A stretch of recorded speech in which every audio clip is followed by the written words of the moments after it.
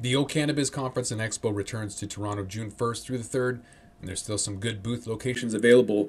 This exciting event is free for cannabis retailers and will feature Tommy Chong receiving a Lifetime Achievement Award at the O'Cannabiz Industry Awards.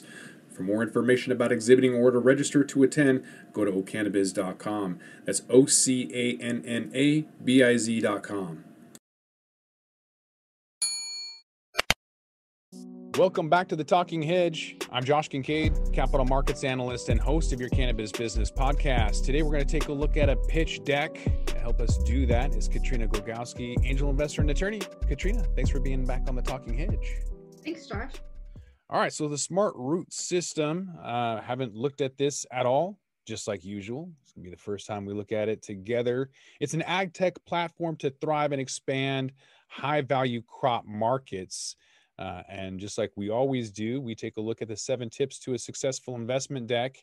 But number one being, do they identify the business plan goals? Number two, do they know their audience? Number three, are they going to understand the market? Four, will they identify needs and roadblocks? Number five, do they know what sets the business apart? Six, will they introduce the team and products? And number seven, will they create a summary with a call to action? I don't know. Let's see. All right, digital and physical intersection. Uh, by the way, I want to note that this is not um, a deck from North America or even Europe. So um, I'm, the English may not be perfect. I don't know, but just kind of want to throw that out there. So, digital physical intersection. So, they rent software and hardware that enables market access and boosts productivity 30 to 60% for high value crop farmers. Um, looking at increased production, so looking at um, growth and software platforms. Okay, I can get down with that. I, I like that he says it costs three dollars per plant per year. That that's a nice figure to know, Josh. Yeah, very simple. Um, we'll we'll see how that works out. Uh, this next graph looks at um, the high value crops. So, in terms of millions of plants based on uh, Colombia hectares, uh, by the way, this is a Colombia pitch deck apparently. so, looking at millions of plants, they can do uh, what is that? 84 million cocoa plants using 300,000 hectares. Uh, blueberries, 75 million plants can be grown across 10,000 hectares and 21 million avocado plants across 100,000 hectares. Oh, and then look, cannabis. So nothing quite there for the numbers, but um, obviously is ripe for the cannabis market. I like that chart. Yeah. Customer valuation proposition. So, international market access, enhanced financials and management, um, traceability, which is nice. Uh, a return on investment. So for your crop, uh, for cannabis, you're looking at 1500% down to about 432 if you use it for avocados. This is based on a 30% baseline yield improvement. So if you're only improving your system by 30%, um, and this is actually a, a, system similar to what got me into the cannabis space in 2013 was to automate the cannabis space. Um, so I'm familiar with it. I, I haven't seen something that um, is plug and play ready to take that over utilizing AI and, and everything else. Uh, but we'll see how far they get. So hardware, software, that's important. So looking at uh, modules and management, um, the app store, all of that good stuff. So I'm assuming that there's, um, you know, the different modules being, you know, a light detector, soil, moisture, uh, water, um, even if a door opens or not. So all of those things can be monitored, and um, with uh, the right software, it can it can be smart enough to figure things out. Hopefully, this company is there. So some of the key learnings they want to um, uh, improve the efficiency and technology procedures. Um, yeah, think we'll skip this one. All right, financials. So the profit per year in the US looking at 225 million. That's based on 100 million customers. So that's kind of difficult to get one in three people, man, women, and child in the US. Not realistic, actually, at all. Um, yeah, 100 million people would basically be every single uh, adult in the U.S. Uh, between the ages of 18 and 49. Uh, that that would be a, a, large chunk of the market. Let's assume that they're that they're meaning 225 U.S. dollars with a total global customer of 100 million. Let's let's give them the benefit of the doubt and assume that that's what they meant. Um, getting a 30% market share. Uh, first mover advantage, I think is definitely feasible if they're able to have that kind of data um, I mean, look what uh, look what happened with uh, Ring. Ring got passed up by all of the sharks on Shark Tank, and then it took Amazon to buy it for that to become a household name. So you don't really need a whole ton of market share before someone just doesn't really know what to invest in, sees the opportunity, buys it, and then your 30% market share becomes 90. Yeah, and as we've talked about before, Josh, cost of goods sold is something that this industry needs to address and needs to get under control. So hopefully this product uh, can address that.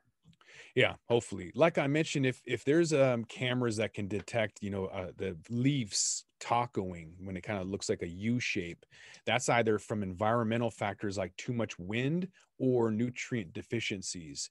So having like artificial intelligence that can not only pick that up but determine what it is and then correct it is true automation that this industry needs desperately in order to reduce, you know, Canada's dollar per gram, six dollars per gram down to more competitive rate in the U.S. that we're seeing roughly at a dollar thirty per gram.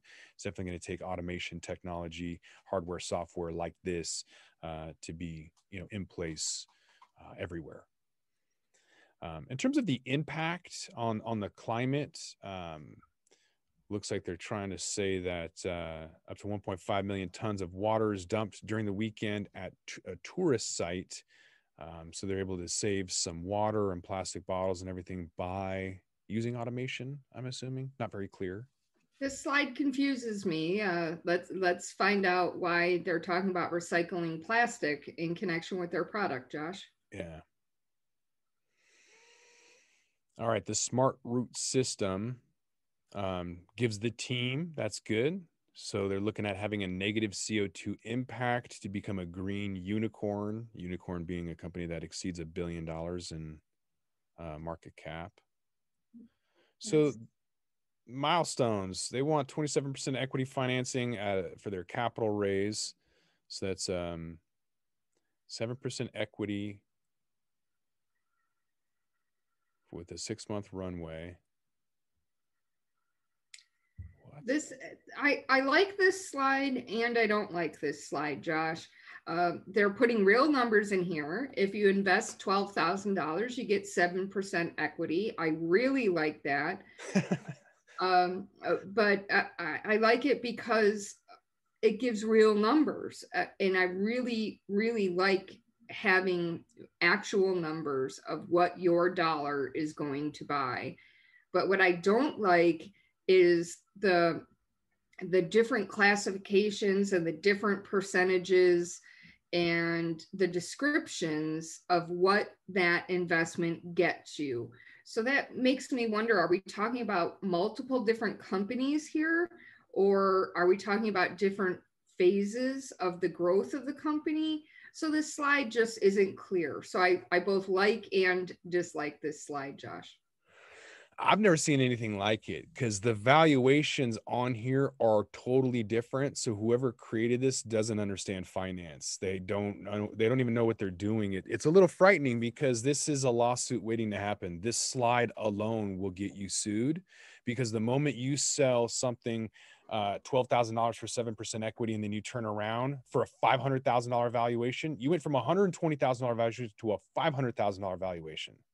So if you sell 10% equity at 50K and then you downsize your round to 120K, that first investor, that angel round for 10% equity at 500K is going to sue you for taking a 12K at 7% because you just ruined their valuation uh, whether it turns into a lawsuit or not, you're not doing any favors to anybody setting this up.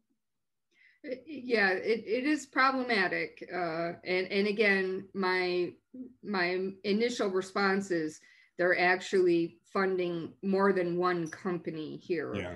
Uh, and, and if that's what they intended, they just need to make that clear. Um, so I, I like this slide if this were future rounds and they were to give you an idea of what was going to happen in the future and say first round and then next year we're going to do this and then after that. But um, otherwise, it's just incredibly confusing and it looks like a massive liability. Moving on. Oh, that's mm-hmm. it. We're not moving on. That's just questions and answers. I got a lot of questions. um, so here we get some photos, I guess, of them growing some cannabis on the moon. So did they get into the hardware at all? Is that like what it's going to look like? This um big cylindrical machine that don't even know what it looks like. I, I'm confused by this uh, first slide in the appendix. Uh, it's it's a visual of a of a rotating cylinder uh, to to grow the plants in in this cylinder. Uh, but why I'm confused, I don't know if this is their process or just the future of of agriculture is going in this direction. So I don't know if this is their product or not, Josh. I'm confused. They say they have a greenhouse cultivation system with climate battery, computer controlled, or a machine assisted. So they're finally talking about artificial intelligence, but for some reason they have like 3D printing. Like, what are you 3D printing for? What? Why do you need augmented reality? You kick those things out and talk to me about robotics and artificial intelligence and and machine assisted stuff. Um, it's almost like they're just throwing all these keywords to kind of get people um, interested when I, I don't really think that there's I have no idea what they're doing at this point. Um, very confusing. Yeah. So they have a technology proposal along with uh, generative design applied to ventilated pots uh, using 3D printing.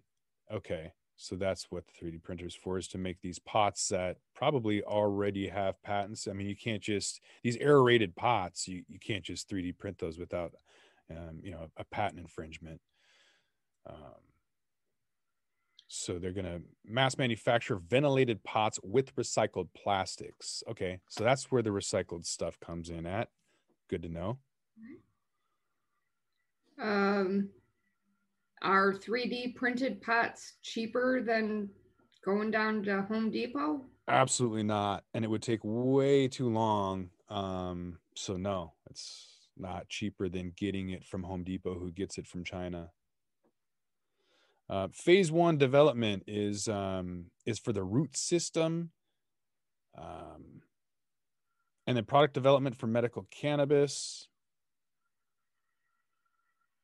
Oof. And and I I'm not even going to try to cross my eyes and read this slide. Um, I think this slide is uh, uh, showing the timeline of their process, um, and so they start with uh, a CAD design of apparently a pot. Okay. Um, then they print the pot. Then they put the flowers in the pot, and then Okay. It looks like a maybe eight day process. Yeah, I'm going to cut you off right there, Katrina, because I think I've seen enough. All right. uh, number one, did they identify the business plan goals? If they, uh, if the business plan goal is we need money, yes. Okay. Uh, what they're going to use that money for? No. Do they know their audience? Do they know their investor audience? I don't think so. Um, having a having a four or five page pitch deck just did not contain enough information. They used some buzzwords, but um, no, uh, they didn't. We really love that total addressable slide, and it wasn't there. uh, they could have at least told us like in Colombia what you know what's the advantages or, or whatever. So yeah, giving them zero points for knowing their audience because you can't offer different equity percentages uh, on the same slide for the same round. That is an absolute nightmare. Um, I haven't seen anything like that before. So thank you for that. Uh, do they understand the market? I I'm going to give them a half a point here because yeah. they are trying to address the biggest problem that the cannabis industry faces, which is cost of goods sold. So I can't comment on whether their their process is going to be successful, but at least they they have made an attempt to address cost of goods sold. So half a point. Mm-hmm. Uh, needs and roadblocks. I didn't see anything um, with that. I didn't see any roadblocks with the machine learning or um, anything else. I had a ton of issues with my own automation that I was using. Um, and that's why I left my job and started a, a, company in 2013 to do just this. It still doesn't exist. Um, and it's 2021. So you have a lot of roadblocks and you didn't identify any of those. Uh, nor tell us what you needed really um, there wasn't yeah so anyways i would say give them zero where are you at uh, i did not see a single roadblock uh, identified in their slide. Knowing what sets the business apart could have been really simple to say that, you know, we're going to be one of the first companies to have artificial intelligence, machine learning, um, all of these things for the the grow and you didn't put any of that in there until like an appendix somewhere deep so i would have left i would have started with that in what sets the business apart and then answered like why you need it um, so I'd have to probably give him maybe half a point because it was buried. What do you think? Uh, I'm going to be a little bit harsher here. Uh, they did not. They did not name a single competitor, mm. not a single one. And a company you and I know, Josh IUNU, uh, is doing a lot of automation uh, and successfully uh, doing automation. So, what puts Smart Root Systems above IUNU uh, and what are you doing different that IUNU is not doing? Uh, and, and that's just an example. There's other competitors out there trying to automate, just as you said, and they didn't talk about anybody else. And to me, that's a failure. Um, and it's something that's easy to fix. Just pick anybody and say, this is why we're different than this other company. Uh, and I also think they missed a very large opportunity uh, to point out the difference of cost of goods sold in Colombia. We have talked repeatedly that uh, Colombia can produce for less than 20 cents a gram, and that's why people want to grow in Colombia. And if they can get that cost below 20 cents into 10 cents with their automated system, that is just phenomenal. And, and that is where I would like to see improvements in this pitch deck. Um, improve on the, the natural benefits that growing in Colombia already provides. And they didn't even mention that. They, they mm-hmm. didn't even mention that you can grow six times a year in Colombia outdoors. Uh, they didn't mention any of that. Yeah. Um, Growtronix would be another competitor to add to that. That's who I was using back in the day. Um, but I don't think they've really done anything. So that's another interesting company.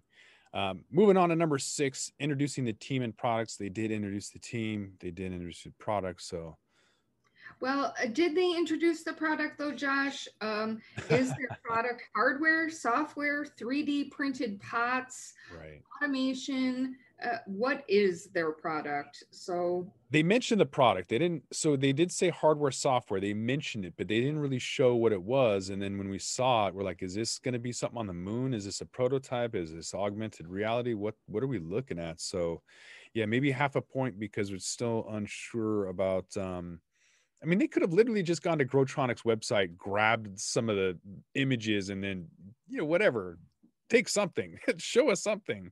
I don't want to see images of the moon because no one's going to be going on the moon. It's ridiculous. Uh creating a summer with a call to action um you know we we did get some financials but nothing um that you know really made me pull out my checkbook. So i don't know. What do you think?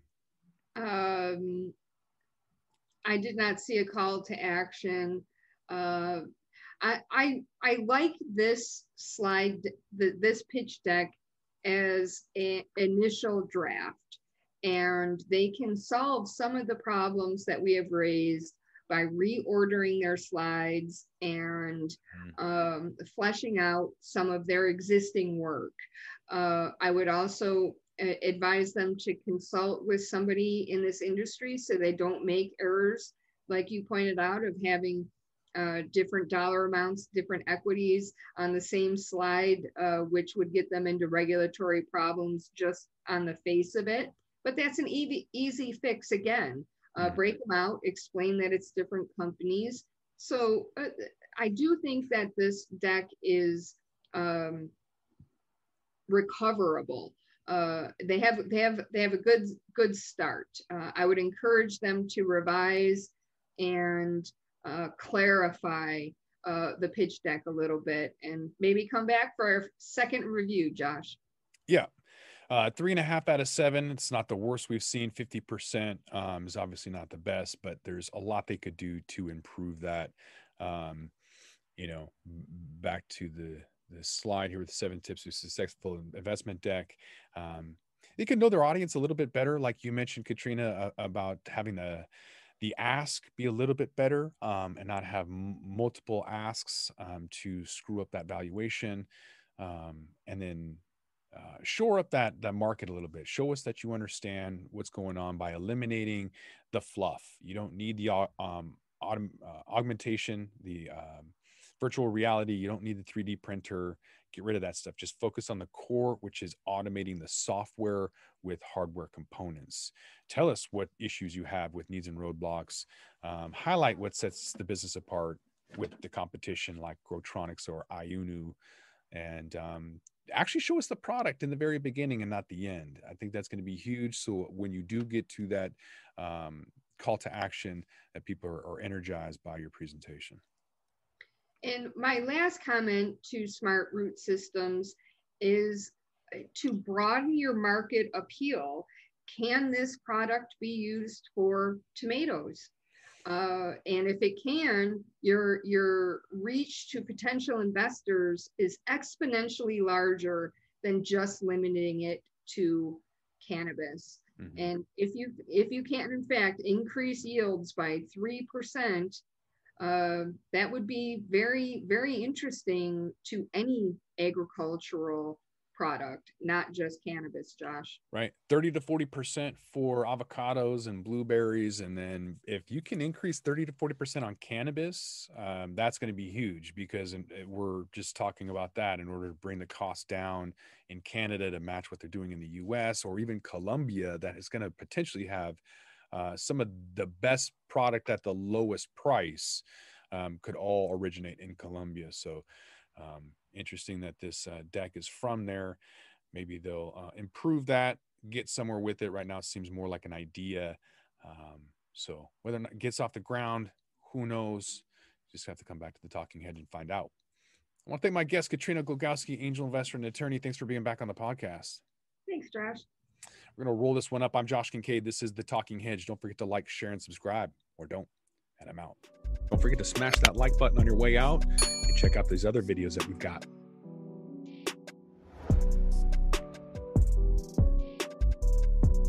Hi, y'all. I'm Joe, host of Casually Baked, the podcast.